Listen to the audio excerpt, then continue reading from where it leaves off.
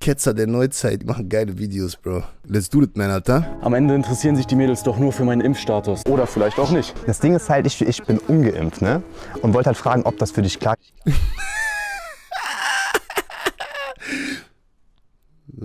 Egal, ob man geimpft ist oder nicht, also ich bin da, ja. Also, ja, das sind also Schwurbler hier, das sind also anscheinend Schwurbler. Querdenker, Digi. Ich bin selber geimpft, aber ich bin gezwungen worden. Was, was? Ich bin selber geimpft, aber ich bin gezwungen worden. Selber geimpft, aber gezwungen wurde. Bin unterwegs mit den Brüdern, wir wollen doch nur ein bisschen von der Sonne. Fahre am Kuder mit ner Bitch, der Kopf ist gefickt und ich öffne ne Bardo. Jeder will Aufmerksamkeit, doch der Schmerz auf mein Herzen wiegt über ne Tonne.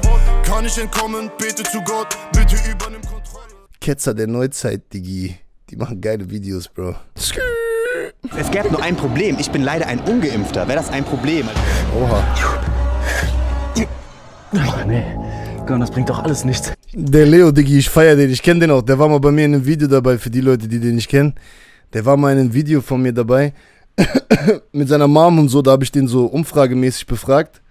Und mittlerweile macht er selber so eine Umfragen und Straßensachen und hat auch gesagt so, dass ich auf jeden Fall dazu inspiriert habe und deswegen let's do it, man, Alter. Am Ende interessieren sich die Mädels doch nur für meinen Impfstatus. Oder vielleicht auch nicht. Genau das werden mein Kumpel Aaron und ich heute in der wunderschönen Stadt Graz herausfinden und werden die Mädels mal nach einem Valentinsdate mit einem Ungeimpften fragen. Mal sehen, was draus wird.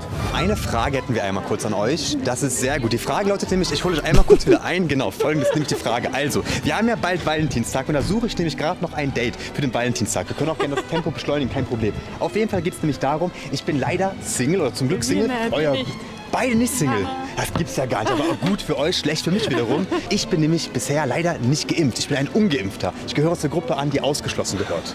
Wie findet ihr das? Ist uns egal, oder mir ist es egal. Also die Liebe, die steht über allem. geimpft bist oder nicht. Ah, okay. Läuft, ja? Graz, wo ist denn Graz? Ist das Schweiz oder was ist das? Ist das Schweiz ist das, oder ist das Graz? Wo ist denn Graz nochmal, Digi? Sogar in Deutschland, ne? Scheiße. Lost Lock. Ignoriert diese paar Sekunden. Ah, nee, doch Österreich? Okay.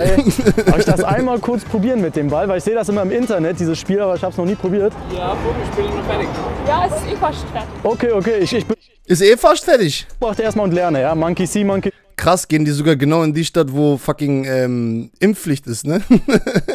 Das ist ganz einfach. Ey, warte mal ganz kurz. Warum ist in Österreich, warum laufen die da mit T-Shirt rum? Ist in Österreich wärmer als bei uns oder was? Kameramann ist der, der Leo. Genau. Aber ihr seht mich gar nicht eigentlich. Nee, also der ist gar nicht da, ist ganz, ganz wichtig, genau. Ich suche jetzt für den Valentinstag ein Date. Es gibt nur ein Problem, also Love it out, man. das Ding ist halt, ich, ich bin ungeimpft, ne? Und wollte halt fragen, ob das für dich klar Oder ob du quasi nur gedateimpft Oder ob du quasi nur gedateimpft Ob du nur gedateimpft ist. ah! Uiuiui. Sehr schön. Habt ihr irgendwelche Beschränkungen, so 2G, 3G? Oder darf ich einfach so mitmachen? Habt ihr irgendwelche Beschränkungen, so zwei Drehen, denke Fühl ich. TV Punisher, danke für den Abo. Ich küsse dein Herz. Danke für den Support, Bro. Da, heutzutage, dass ich sowas noch erleben darf, du. Einfach mal ohne Maßnahmen, ohne Regeln. Meinst du jetzt direkt mich? oder? Shared uns doch nicht. Genau, genau. So, ja, nein, eher nicht. Okay, aber cool für deine offene, ehrliche Meinung auf jeden Fall. Schade. Da muss ich wahrscheinlich abziehen und mach mit deiner Kollegin weiter. Bist du immer noch am Telefonieren? Okay, bist du immer noch am Telefonieren? Ja, ist halt die Frage. Ne?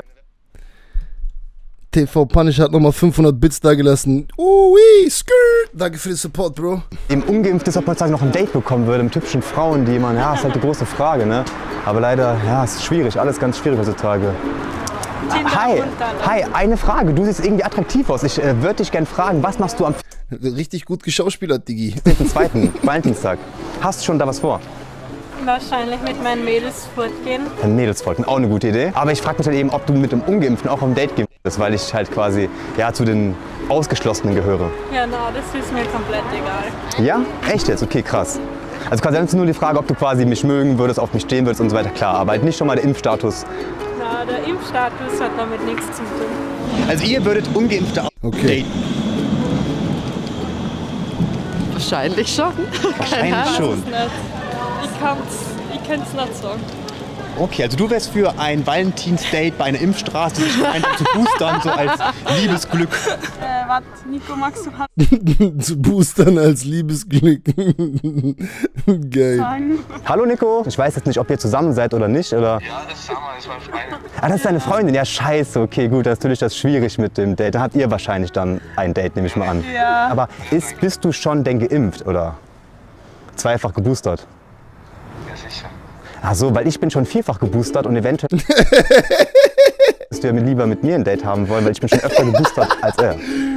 Leider eher nicht so. Guten Abend, der Guten Tag, der Hund. Wuff, wuff, wuff, wuff. Entschuldigung, wir haben hier gerade ein kleines YouTube. Guten Tag, die Damen. Guten Morgen. Frage.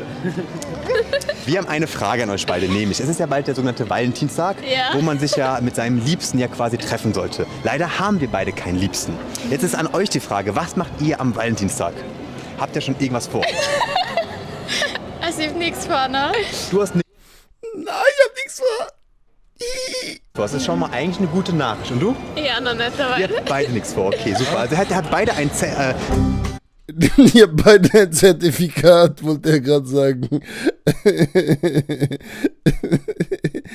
Ey, aber die sind süß, die beiden. Wir können quasi, ich treffe dich um 15 Uhr und dich um 16 Uhr. Das, Ja, ich war mein Freund.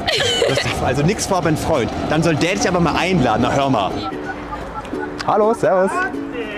Sehr Oh shit, Auf man. jeden Fall perfekt. Schön, dass du quasi auch äh, sagst, du würdest auch mit jemandem, der nur zwei Impfungen hat, dich daten. Das ist cool. Ja, Nur zwei Impfungen. hat. Dann alles klar. Warte, ciao.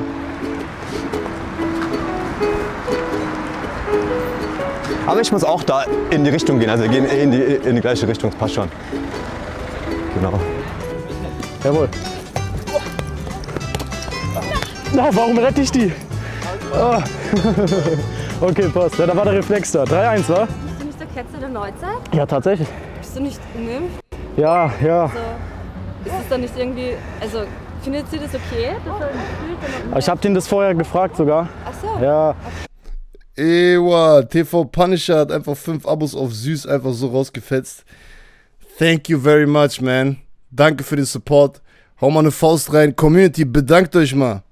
Bedankt euch bei dem Bruder TV Punisher für den Support. Er hat fünf von euch einfach so einen Sub geschenkt. Thank you very much, man. weiß ich, ist hier im, im Park haben wir in Berlin halt die 2G-Regel. Einen guten Tag. Ich möchte darauf hinweisen, kurz einmal, es gilt hier in öffentlichen Plätzen eine sogenannte 2G-Verordnung und eben eine... bin geimpft und Ah, geboostert. Deswegen habe ich euch vorher halt gefragt, aber ist das okay für euch so? Ich, hatte- ich hatte letzte Woche schon Corona. Also. Ah, okay, bist durch mit dem Thema. Sehr gut, sehr gut. Von euch aus ist ist okay. das auch nicht, dass es so unsolidarisch ist, weil das nicht impfen lässt? Also, nicht? Na Ja, also sowas habe ich noch nie erlebt. Was war das denn? Es, es gäbe nur ein Problem. Ich bin leider ein Ungeimpfter. Wäre das ein Problem? Also hätte ich das kein Freund. Nein, kein Problem. Sehr Nein, ist kein Problem. Das ist kein Problem. Also quasi, ihr würdet sagen, Liebe geht über alles und man darf auch Ungeimpfte noch heutzutage dann daten. Ja. Das ist okay, ja? Ein bisschen grob gesagt, so ist egal, ob man geimpft ist oder nicht. Also ich bin da, ja. Also, ja, das, Das sind also Schwurbler hier. Das sind also anscheinend Schwurbler, die Querdenker, Digi. anscheinend für freie Liebe stehen, dass man jedem Menschen also... Ihr seid sozusagen auch gegen Ausgrenzung. schon. Ja. Oh, das Also- ist aber wirklich, also... Also ihr seid gegen Ausgrenzung von Menschen? Ist es so Schlimmes? Geil, Digga. Voll provokant halt, ne? Sage Kommt ja schon. ganz drauf an, wen man ausgrenzt. Wenn man die richtigen ausgrenzt, dann ist das super. So sieht's aus. Also der Staat definiert eine Gruppe, die ausgegrenzt gehören und dann muss man einfach ausgrenzen. Ganz genau. Alles klar, okay. Genau mein Humor, Digi. Wichtig, ob euer, ja, jetzt äh, eure Beziehung, der Freund oder einfach nur die Freundin, ob die geimpft ist oder nicht? Nein, okay. Das war doch ein klares Nein. Das ist ja heutzutage, muss man sich erstmal trauen. Auch nicht geimpft, okay. Hast aber gut durchgehalten bisher. Sehr gut gemacht auf jeden Fall. Stabil. Na gut, dann wünsche ich noch einen schönen Tag. Ebenfalls. Danke, ciao. Ihr würdet sagen, ihr würdet sogar mit einem Ungeimpften auf ein Date gehen? Natürlich. Wow, Wahnsinn, sehr cool. Wärt ihr sogar lieber? Ja. Stark. Okay, liegt es daran, äh, weil wir ungeimpft sind? Jetzt schon, ja? Jetzt, jetzt haben wir euch einen Grund gegeben. Das ist natürlich dann ganz... Okay, dann probieren wir es beim nächsten Mal nochmal geimpft. Ich bin auf jeden Fall schon vierfach geboostert. Und du? Ja, ich bin tatsächlich ungeimpft. Du bist du, der ist ungeimpft? Also ich bin vierfach geboostert. Also Ungeimpfte, ganz gleich Geimpfte. Darauf gibt es doch schon mal einen Corona-unfreundlichen Handschlag bei dir auch. Team geimpft. Den Leo feiere ich am meisten, ja. Den linken mit dem Zopf. Ey, Naja, Wahnsinn. wir, waren nicht Sind- ungeimpft. wir waren auch zuerst gegen Impfung, ehrlich gesagt. Also nicht wirklich gegen Impfung, aber wir wollten uns einfach nicht impfen lassen. Seid ihr beide schon zusammen äh, an Valentinstag verabredet? Ja. Dann hat mich, hat mich sehr gefreut. Wir haben heute die Frage, ob ihr mit Ungeimpften auf ein Valentinstag-Date gehen würdet. Ja, why not? Ja. Das ist schon sehr unsolidarisch, oder nicht? Weil die Ungeimpften gehören doch ausgeschlossen. Nein. Nicht? Solange sie getestet sind, finde ich es okay. Das können wir da vorne machen. Wir haben es probiert da drüben bei der Teststelle. Wir suchen ein Valentinsdate noch am 14.02. und würden sogar mit dir uns eventuell boostern gehen als ein Date. Aber es wäre eine romantische Idee. Nein, Ein ich arbeite Booster-Date. an dem Tag. Ein Booster-Date, Digi. Ah. Dann können wir direkt ja testen eventuell. Weil wir, weil wir haben erst den... Ja, nein. Nein, das ist der witzigste. Alter. Das Hör ist mal. aber- Das ist, das ist ein Schwurbler. Das ist solidarisch. Deswegen wollen wir das auch wirklich durchziehen. Also wir suchen Genau. jemanden, vielleicht auch mit ihm dahin, wenn er schon. Ja? Baby, bist du impfen gehen? Ich finde, der Bruder übertreibt manchmal ein bisschen mit seiner Rolle so, aber ansonsten nice auf jeden Fall. Das ist ein Schwurbler. Genau, wir gehen uns boostern gemeinsam. Baby, lass uns boostern. Heute die ganze Nacht. Die vierte? Früher, du kriegst Herzmuskelentzündung. Ja, wie bei F auch psychischer Druck, warum man sich dann am Ende impfen lässt, sozusagen, damit man nicht ausgeschlossen wird. Naja, ausgeschlossen. Sie haben halt gesagt, dass wir uns impfen lassen sollen und sonst, ja. Ja. Ja, ist krass, dass es heutzutage einfach nichts mehr mit einer richtig freien Entscheidung zu tun hat, wa? Der Mensch gegenüber, mit dem ihr euch trefft, äh, ist also geimpft oder ungeimpft oder nur was dazwischen. Egal. Egal. Egal. Egal, stark. Ich bin selber geimpft, aber ich bin gezwungen worden. Ja. Das zweite Wort nicht mehr verstanden. Was hat er gesagt? schön, schön, Mann. Egal. Was, was? Ja, ist krass, dass es heutzutage also geimpft oder ungeimpft oder nur was dazwischen. Egal. Egal. Egal, stark. Ich bin selber geimpft, aber ich bin gezwungen worden. Nee, ich bin selber geimpft, aber gezwungen worden. Ah, das ist diese Back, das ist diese, dieser Akzent. Selber geimpft, aber gezwungen worden. Das zweite Wort nicht mehr verstanden, aber die Nachricht kommt. Gezwungen. Generell, wenn es möglich gewesen wäre mit der Arbeit, dann war ich wahrscheinlich auch noch ungeimpft. Das sind diese freien Entscheidungen heutzutage. Eine Ne? Entscheidung, was uns weggenommen haben. Ja, so sieht es mich aus. Da habe ich mich extra jetzt vierfach boostern lassen, um eine Tja. Chance zu haben bei den hübschen jungen Damen hier. Also ich habe schon schreckliche Sachen gehört. So. Wahnsinn, die ja. gehören eingesperrt, so wegen denen äh, verbreitet sich das ganze Virus, obwohl das natürlich nicht stimmt. Das menschliche Ego, so um irgendjemanden die Schuld in die Schuhe zu schieben. Safe. Real Talk. Bloß du selber nicht. Die anderen, immer die Es anderen. sind immer die anderen. Immer die anderen. So sieht's aus. Ja, cool, dann sehen wir uns am 14.02. wieder. Hat mich sehr gefreut. Date auf jeden Fall. Ja, super, super. Das ist Das ist der Corona-Handschlag. genau. Ich bin geimpft, aber ich halte so die Ungeimpften. Ja, das nenne ich doch mal aus. Stark, Junge, stark. Ich küsse dein Herz. Ehrenmann in die Kommentare, habe ich gehört. Das ist sehr gut.